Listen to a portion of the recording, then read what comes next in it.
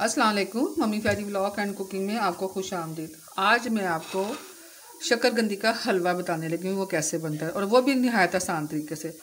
पहले मैंने आपको खीर बताने का तरीका बताया था वो ज़रा थोड़ा सा थोड़ा सा मुश्किल था क्योंकि उसको मुश्किल वो इसलिए था अगर आप उसके बाल नहीं निकालती तो फिर वो आसान है। अगर बाल निकालने हैं उसके तो फिर ज़रा थोड़ी सी मेहनत करनी पड़ती है अदरवाइज़ बनी बहुत टेस्टी सबने बहुत पसंद की। और आज मैं आपको शक्करगंदी का हलवा बता रही हूँ नाना। ये शक्करगंदी मैंने ऐसे छील ली है। ये देखें। छील कैसे है इसको मैंने?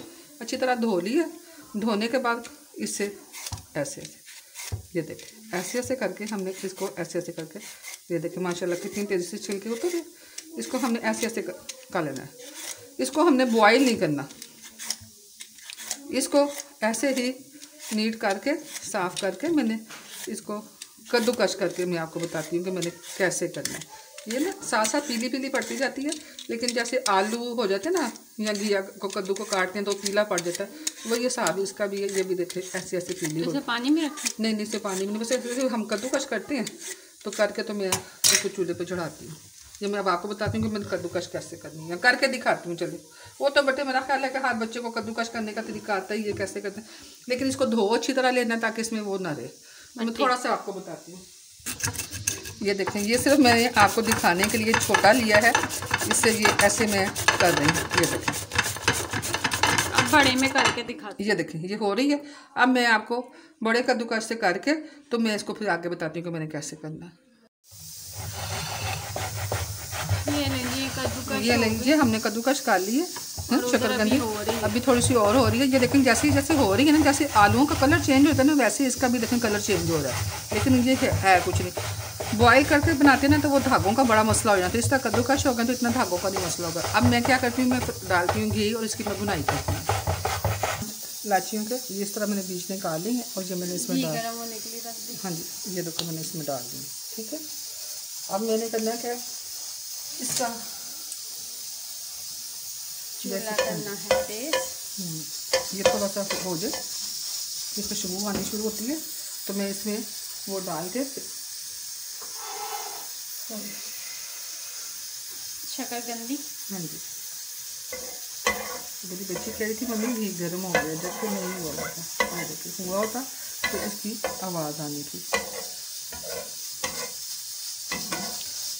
ये आपकी शक्करगंदी कितनी आधा किलो? नहीं ये किलो है। किलो शक्करगंदी किलो शक्करगंदी है। दो मिनट में हो गई शक्करगंदी मैंने दो बर्तनों में रखी हुई है। ये देख लें। होनी शुरू हो गई ना? ये देखें ये देखें। खुशबू आनी शुरू हो गई फिर जल जाएगी। ठीक है? ये तकरीबन एक कप के करीब मैंने घी डाला था। ठीक है? फिर शक्करकंदी डाल दी, बिस्मिल्लाह रहमान अब मैंने इसको बुनाई करनी है। अच्छी तरह। भून भून के भून भून के ये देखना, ये जान होती जाएगी हाँ जी ये देखें मेरा बेटा ये इसको मैं कर रही हूँ और इसकी देखें शक्ल नीचे से कैसे। कलर चेंज होना शुरू हो गया ना ये देखें। ये देखें ठीक है? ये मैं आपको ये देखें माशाल्लाह माशाल्लाह लुक देखें माशाल्लाह। ये देखें ये देखें। ये मैं ये मैं ना दस मिनट बाद आपको मिलती हूँ उसकी बनाई करके आपको। ये देखें अब इसकी बुनाई हो के घी भी छोड़ दिया है और चक्कर कती ये देखें इसकी। लुक देखें माशाल्लाह माशाल्लाह। देखें कितनी अच्छी आ रही है। अब मैं इसमें ये छोटे वाला एक कप चीनी का डाल रही हूँ। अगर ज़रूरत हुई तो फिर डालूँगी। ठीक है? और साथ में ही एक और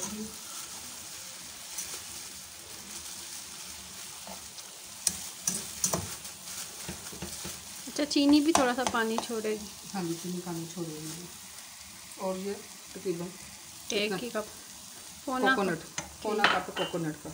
ये डाल के अब मैं इसकी अच्छी तरह बुनाई करके तो मैं आपको डिश आउट करके दिखाती हूँ। और ये मेरी बात सुनी ये आपकी अपनी मर्ज़ी है कि आप इसमें ड्राई फ्रूट जितना मर्ज़ी डालें जितना डालेंगे ड्राई फ्रूट उतना ही मज़ेदार होगा होगा। ज़ाहरी बात है वो बड़ों का कहावत है ना जितना गुड़ डालोगे उतना ही मीठा होगा। ठीक है? ये आप जब आप खाएँगे तो ये भी आपके लिए एक नई चीज़ होगी कि वाकई। और देखें मैंने कितने आसान तरीके से आपको बनाने का तरीका बता दिया और इसमें ज़रा से भी कोई धागे नहीं कोई कुछ नहीं आ रहा इसमें ये देखें माशा कद्दूकश करके बनाएँ और बहुत मज़ा आएगा। जब मैं अभी आपको डिश आउट करके दिखाती हूँ। ये चीनी ज़रा मिक्स होती है इसने पानी छोड़ना है। उसको खुश्क करके तो मैं आपको डिश आउट करके दिखाती हूँ। ये हलवा माशाल्लाह बिल्कुल तैयार हो गया देखिए इसने क्या है इसकी निशानी? कि घी छूट गया घी छोड़ दिया इसने पहनते देखिए खाली है ये देखिए ऊपर घी जो है सारा आपके सामने साइड पे हो गई ये देखो। घी नज़र आ रहा है ये रहा घी आ रहा है। और बहुत ही मज़ेदार बना है। अभी मैं आपको इसको डिश आउट करके दिखाती हूँ। इसमें कुछ नहीं डाला सिवाय चीनी घी के और थोड़ा सी थोड़ा सा कोकोनट ना कोई दूध डाला है ना मैंने इसमें कोई खोया डाला है लेकिन हलवा कह रहा है कि कमाल है भी कमाल है। लें जी। देखिए ये मैं आपको बता रही हूँ कि मैंने ना डोंगे में तो डाला है जा रखा ही हुआ है तो लेकिन जैसे मैंने थोड़ा सा बच गया था मैंने प्लेट में डाल के तो मैंने कहा चलिए तजर्बा करके देखते हैं। तो मैंने इसको पतला पतला सा फैला के तो इसकी मैंने कटिंग की है तो ये देखिए माशाल्लाह कितनी अच्छी इसकी कटिंग हो गई है ये देखिए ये ये देखें जैसे बर्फ़ी की तरह होती है ना। तो ये मिठाई के दौर में भी यूज़ आप इसे उस तरह भी कर सकती हैं इसके ऊपर वो पिस्ता वगैरह लगा के आप इसको वैसे भी यूज़ कर सकते हैं। लेकिन ये सिर्फ़ मैंने आपको बताया कि मैंने किया आप इस तरह भी खा सकते हैं टुकड़ी की शक्ल में भी बना के आप खा सकते हैं। ठीक हो गया जी। ये हमारा शक्करगंदी का हलवा तैयार हो गया है। देखें इसकी लुक देखें माशाल्लाह कितना खूबसूरत बना है कितना टेस्टी है। उम्मीद करती हूँ कि आपको पसंद आएगा। आप बनाइएगा ज़रूर और खाइएगा और बताइएगा कि कैसा बना है।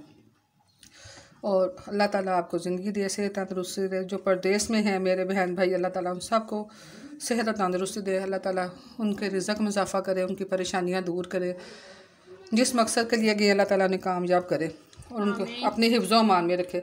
आप मेरे लिए भी दुआ कीजिएगा मुझे अल्लाह ताला बिस्तर की मुताजी से बचाए अल्लाह ताला मुझे ज़िंदगी सेहत तंदरुस्ती दे। जिस जिसका जो जो मसला है, जो जो परेशानी है अब हर एक ने मुझे बहुत से लोगों ने कहा लेकिन फर्दर फर्दर मैं हर एक का नाम तो नहीं ले सकती।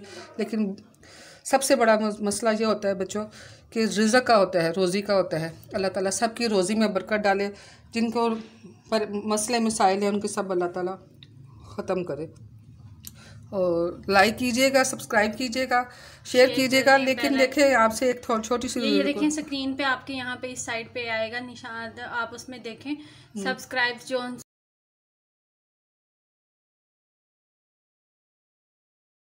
सब्सक्राइब जो उनसे हैं फोर्टी नाइन परसेंट लोग हमें देख रहे हैं तो प्लीज़ उनसे गुजारिश है कि वो हमें सब्सक्राइब भी करें। हाँ जी क्योंकि देखिए वो हमारा ना नुकसान हो रहा है हमें फ़ायदा नहीं हो रहा। तो आपसे रिक्वेस्ट है कि आप वो ज़रूर करें हैं। तो बड़ी मेहरबानी है आपकी। दुआ में याद रखिएगा। अल्लाह हाफिज़।